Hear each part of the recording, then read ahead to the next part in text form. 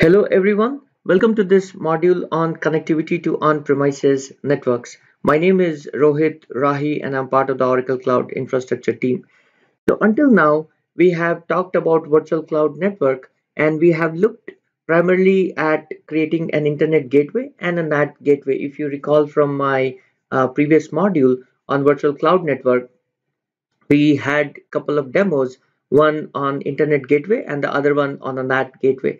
Uh, and we looked at things like reserved public IP, ephemeral public IP, etc. So we, we definitely looked uh, in in quite uh, quite a lot of details on how you can connect uh, to the public internet, right? Either using uh, internet gateway or a NAT gateway.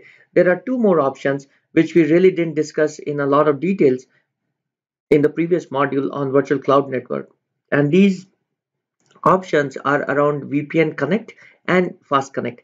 So what do I mean by VPN Connect? VPN Connect is basically uh, an option where you connect two different sites using IPsec uh, protocol. So uh, it's we'll, we'll look into more details and there are two main options which are available here. The first is an OCI managed VPN service which is offered for free. So you really don't pay for anything uh, except the underlying resources. And then the second option is you can run your own software VPN.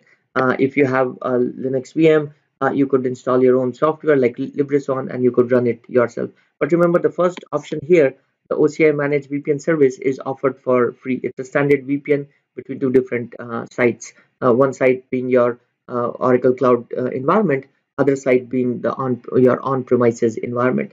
The third option we have um, is Fast Connect. Fast Connect, as the name uh, specifies here, gives you this consistent fast network performance uh, and you can get uh, port speeds of 1 Gbps and 10 and 10 Gbps increments. Uh, and the whole idea of a fast connect is it is a private connection. So think about this as you having your own uh, high occupancy vehicle lane uh, in the internet. So your traffic doesn't go through the internet. You get your own private dedicated connectivity. Uh, that's number one. And then number two, like I said, the name specifies you get really fast consistent performance. So you can go 10 Gbps and even higher uh, if you want. Uh, and then of course there's an SLA around that. So the first option, public internet, we looked into the previous uh, module on virtual cloud network. In this particular module, we are going to look in more details around VPN and fast connect.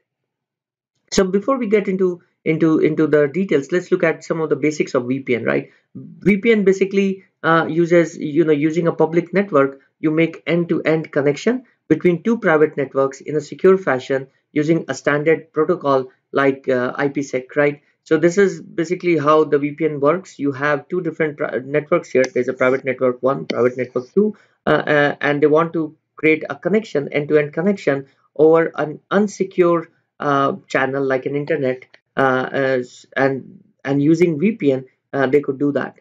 Uh, now, what are some of the key characteristics we talk about, right? The first thing in a VPN is this thing called a tunnel. A tunnel is nothing but a way to deliver packets through the internet uh, to, to RFC 1918 addresses, meaning private network addresses here.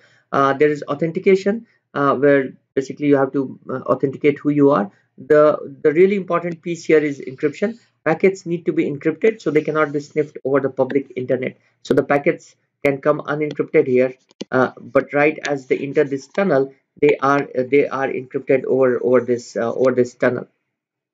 And there are two different kinds of routing which are supported here. Uh, one is static routing. When you configure a router to send uh, traffic for particular destinations in pre-configured directions and the other is BGP uh, dynamic routing uh, which which where we use a routing protocol like BGP to figure out what paths traffic should take. It used to happen that OCI only supported static routing for a while, uh, but now we support both static and dynamic routing. And I'll show this in, in the in the demo when we go into the demo. Now IPsec, when you talk about, there are two modes. One is called a transport mode, where IPsec in, encrypts and authenticates only the actual payload of the packet, and the header header information stays intact. Uh, the other mode is called the tunnel mode, which we talked about here, where IPsec encrypts and authenticates the entire packet after encryption, the packet is then encapsulated to form a new IP packet that has different header information. Now, in our case, uh, in case of OCI, we only support tunnel mode. uh, we don't support uh, transport mode, right? So if this exam comes up in the exam or something, just remember that OCI supports uh, tunnel mode uh, and not the transport mode. Uh, well, that was the, the, the basics of uh, of VPN, let's look at some other details. We, uh, as you recall from the previous module, we did look into this uh, gateway called a dynamic routing gateway. So anytime you have your on-prem environment and you want to connect to the on-prem environment, let's say you have a database running here, you would use uh, this gateway in OCI called a dynamic routing gateway. It's a virtual router that is sitting at the edge and it provides a path between your private subnets and your on-prem environment. So think about this as any situations where you want to connect other than internet uh, you would use uh, you would use a DRG now DRG is used both for VPN as well as fast connect. So both these options are actually supported on on DRG and we'll look into this as we get into more uh, details in in the demo. After attaching a DRG you must add a route for the DRG in the VCN's route table to enable traffic flow. This is pretty standard. We saw this earlier in the VCN uh, module. Uh, if you don't add this route uh, there's the packets here get black hole. They have no way to figure out that they have to go to on premises through this gateway here right? So you you have to add this route. Uh, and then uh, of course you can have security list or network security groups here uh, to secure your uh, to secure your uh, subnets and your um, resources running in them. Drg is a standalone object. So you you create it separately and then you must attach it to a vcn vcn and drg have one-to-one -one relationship. It means one VCN can only have a, one DRG and one DRG can be attached to only a single VCN uh, at a time. So let's look at some of these uh, details on the VPN Connect uh, feature itself. Uh, like I said uh, earlier, VPN Connect is a managed VPN service which securely connects your on-prem environments to, to OCI VCN uh, through an IPsec VPN connection. Um, VPN Connect ensures secure remote connectivity via standard industry standard um, uh, IPsec encryption. Bandwidth is dependent on the customer's access to the internet and general internet congestion. Uh, typically, we have seen the bandwidths can be much higher, but uh, the whole idea of uh, using a VPN Connect is to run proof of concepts, right? If you have any uh, requirements around running enterprise apps, our guidance is to use Fast Connect and not use uh, VPN Connect uh, VPN Connect is offered for free, so there is no charge for using the service. And uh, like I said, customer proof of concepts usually start as a VPN, and then they morph into Fast Connect designs as you move into uh, as you move into uh, production environments. Now, important thing to keep in mind: OCI provisions redundant VPN tunnels located on physically and logically isolated tunnel endpoints. So what we do is coming out of DRG, you get two different tunnels here, and we manage those tunnels on physically and logically uh, redundant uh, hardware. So it's not like the tunnels are running on the same hardware and just the hardware goes down. The tunnels go down. The whole idea of having these redundant tunnels is that you get some kind of uh, high availability right? And we manage that on on our side. Uh, but it's our practice we give you two tunnels and is our um, recommendation for you to use both tunnels. Now when i go into the demo i'll show um, i'll i'll just provision one tunnel but just for the lack of time but you can actually uh, see that we we provide uh, two tunnels when you create the IPsec connection. Now how does this whole thing work?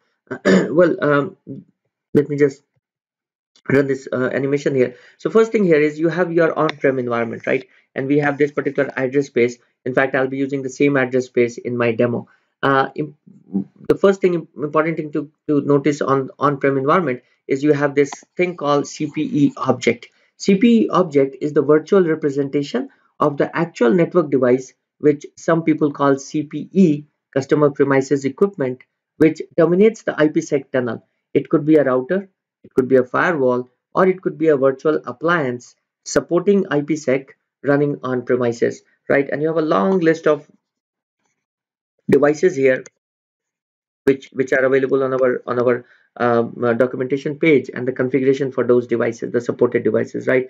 Uh, and so there's a good chance whatever devices you are running today uh, would be supported by the OCI uh, VPN Connect service. Right here is the internet, it's the unsecured channel. Uh, and you want to connect your your uh, resources running here. Let's say I'm running a database here to your on-prem environment using the VPN. So so so what you do is you create this tunnel as we talked about in the previous uh, previous slides and you can use either static routing or dynamic routing uh, and then your resources are here uh, and you create this uh, DRG and of course you have to do the route table so the packets can go from from here to the DRG and you also create your network security group or security list to secure your subnets uh, or your uh, instances right? So this is the pretty standard setup uh, in the previous module we looked into here we had uh, internet gateway we had NAT gateway uh, and then we went to the to the to the internet using using those gateways right? In this case we are going through a DRG and then we are going to an on-prem environment right? Not just sitting as uh, going out to the internet. So how does this whole thing work? Uh, well there are a bunch of steps here uh, and it's actually rather straightforward uh, but let me just quickly run through the steps here right first thing you do is create a virtual cloud network pretty straightforward uh, we have seen that in the previous uh, lecture series on VCN. Then we create a DRG. We have not created a DRG until now, but we'll go and do that. You have to attach your DRG to your VCN, right? Remember, they, they have a one-to-one -one relationship and DRG and VCN are standalone. So you, once you create it, you have to attach it here. Uh, then you have to attach your route table uh, to send the traffic to the to the DRG. Then you create a CPE object which is your on-prem, uh, which is basically a virtual representation of your on-prem router. And you would get this IP address running from your router here, right? So your whatever router you're running here will have an IP public IP address. And there are things like if your CP is behind a NAT device, what to do and all that gets into more complex details, which we will cover in our level 200 module. But you this CP device basically will have a public IP address. So you, so you create the CP object in OCI and you add the public IP address. Then on the DRG, you create your IPsec uh, tunnels. Uh, so you create these IPsec tunnels here. And then uh, between CP and DRG, and you could choose to use a static route or you could choose to use a BGP route, right? So you could decide what kind of routing I want. Right now you can see there's a static route here. And then the last step is you configure your on-premises CP router. So I'm going to run through these steps uh, in the next uh, module where we will uh, will run through these steps and I will show you uh, a, tunnel being created and uh, the IPsec tunnels being uh, provisioned. So thank you for uh, joining this uh, lecture. If you have time, please join me in the next next lecture where we'll talk about the VPN Connect demo. Thank you.